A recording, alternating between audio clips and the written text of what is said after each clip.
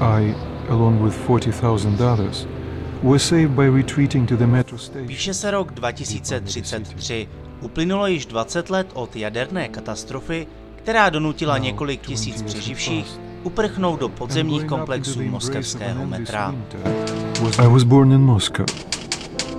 Hlavní hrdina Artyom, který mimo jiné figuruje ve hře také jako vypravěč celého příběhu, je po 20 letech života v podzemí donucen čelit spolu s ostatními obyvateli nové hrozbě, a to v podobě vzrůstajících útoků nejen mutantů, ale hlavně jakési tajemné síle v podzemí. To determine the very existence of our species. Tak přesně takhle začíná příběhová část First Person akce Metro 2033, inspirovaná úspěšným stejnojmeným románem Dmitrie Gluchovského. The Dark Ones! They destroyed the outer guard post! Hlavní devízou celé hry je především její vynikající atmosféra, umocněná nejen výborným příběhem, ale i novými herními prvky v podobě plynové masky nebo ruční univerzální nabíječky. Na povrchu a ozářených místech se lze pohybovat pouze s maskou a právě její nasazení či různé efekty v podobě prasklin, mrznoucího orosení nebo nutnosti výměny filtrů a s tím spojené těžké dýchání dokáží hráče báječně vtáhnout do děje. To samé platí i o baterce. Pokud si chcete pořádně posvítit, je předem nutné nabít baterie, a to hezky ručně. Dalším prvkem umocňující dříve zmíněnou atmosféru je uvěřitelný život v menších městech, vytvořených z jednotlivých stanic zdejšího metra. Téměř v každé panuje čilý ruch a jsou zde mimo jiné velmi důležité směnárny a různí obchodníci ochotní prodat své zboží za předem stanovený počet vysoce ceněné vojenské munice z období před výbuchem, která zde plní funkci herní měny. Ohledně zbraňového arzenálu se nejedná o kdo ví jaké orgie. Všeho všudy můžete na svých bedrech nést třistřelné zbraně, nůž a dynamit. Najdou se zde ale i speciální kousky, tak říkajíc po domácku vyrobené, využívající stlačený vzduch.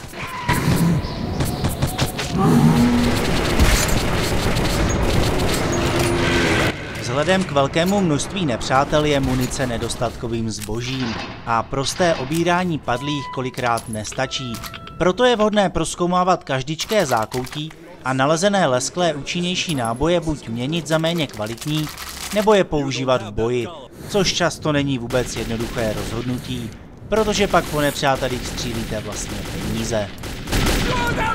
U jednotlivých zbraní se mi líbilo jejich zpracování, Především pohled na mizející stav nábojů v zásobnících se jen tak nevidí. Pochvalu zaslouží i efektní dobíjení opakovací brokovnice.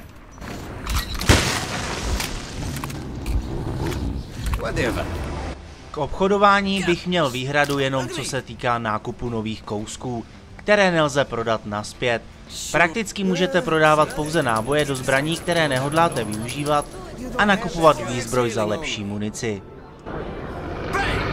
Kromě lidských nepřátel se hlavnímu hrdinovi do cesty připletou nejrůznější mutanti.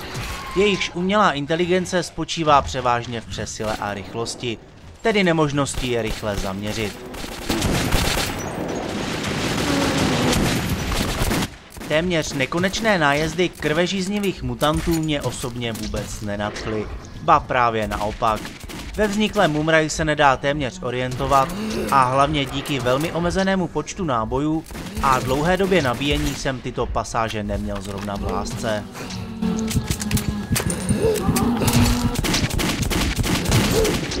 Na druhou stranu se najdou i situace, ve kterých tuhne krev v žilách.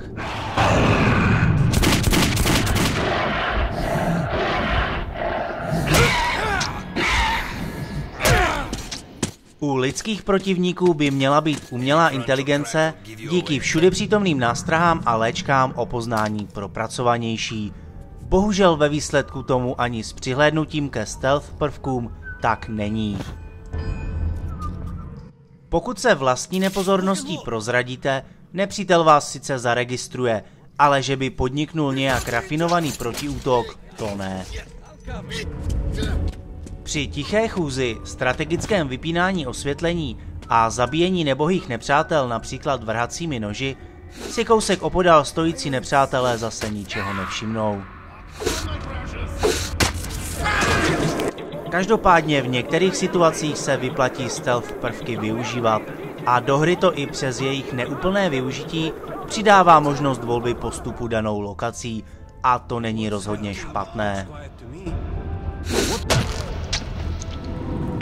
Kromě dříve zmiňovaných nepřátel se čas od času ukáží ti temní, takzvaní Dark Ones, a s nimi napínavé psychopasáže, nebo obrysy postav reprezentující nemrtvé a o slovo se občas přihlásí i nějaká ta anomálie.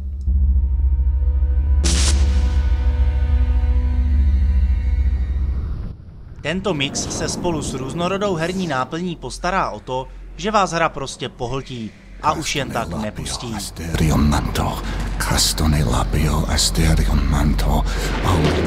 Jednou takhle pomáháte bránit stanici před cílicím útokem mutantů.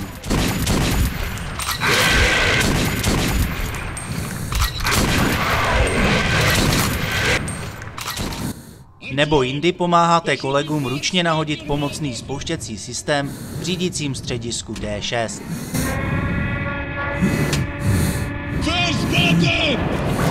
A abych nezapomněl, tak si v dlouhých tunelech čas od času zkrátíte cestu na drezínách, povětšinou v palebných pozicích. A občas není vůbec špatné si dávat pozor na hlavu.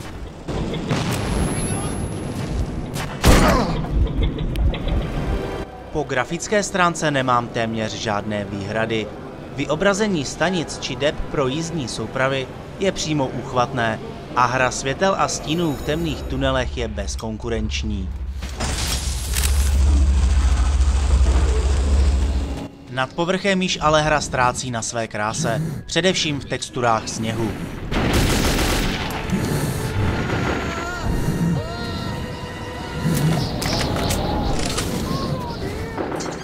Bohužel vše něco stojí a tato výtečná grafika se podepsala na hardwareových nárocích. V DX10 režimu v maximálním nastavení hra běží s GTX 275 a 4-jádrovým procesorem na hranici plynulosti, tedy na průměrných 30 snímcích za vteřinu, a to bez vyhlazování. Vzhledem k přítomnosti pouze singleplayeru a ceně trochu zamrzí její délka, na normální obtížnost okolo 7 až 8 hodin. Každopádně se ale jedná o jednu z nejatmosféričtějších her, které kdy spatřily světlo světa.